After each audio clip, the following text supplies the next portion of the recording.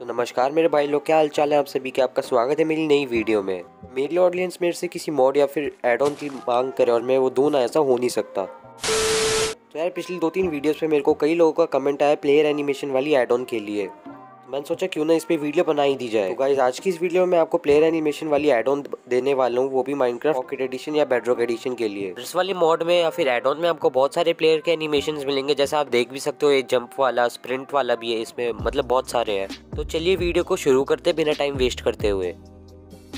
सबसे पहले आपको वीडियो के डिस्क्रिप्शन में जाना है, वहाँ पे आपको एक मीडिया डॉक्यूमेंट का लिंक मिलेगा, उसे ओपन करना है, या फिर आपको एम वाली वेबसाइट का लिंक मिलेगा, उसे ओपन करके इस फ़ाइल को डाउनलोड कर लेना है।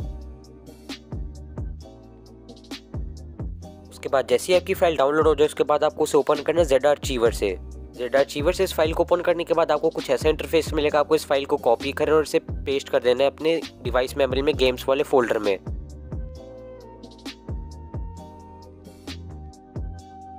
गेम्स वाले फोल्डर में आने के बाद आपको कॉम डॉट मोजैंग में जाना और वहाँ पे बिहेवियर सॉरी रिसोर्स पैक में जाके इसे पेस्ट कर देना है। और जैसे ही सक्सेसफुली पेस्ट हो जाए, उसके बाद आपको डायरेक्टली माइनक्राफ्ट को ओपन कर लेना है।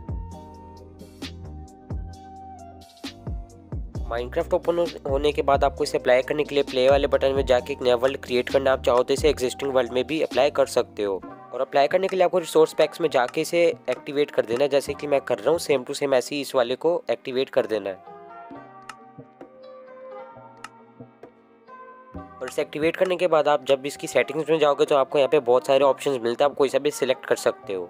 और मैं आपको एक एक का प्रीव्यू अब दे देता हूँ। पहले मैं आपको टाइनी प्लेयर्स वाले का प्रीव्यू देता हूँ।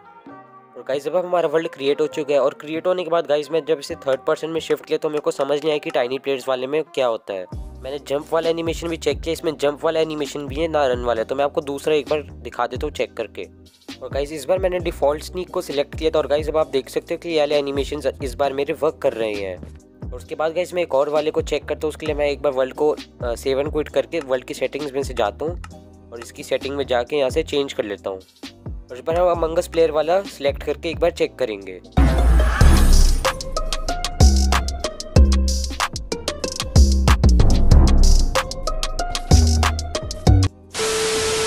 गाइस हमें अमंगस प्लेयर एनिमेशन में कुछ ऐसा व्यू मिलता है। आप चाहो तो मंगस वाले कैरेक्टर की स्किन डाउनलोड कर सकते हो माइनक्राफ्ट की।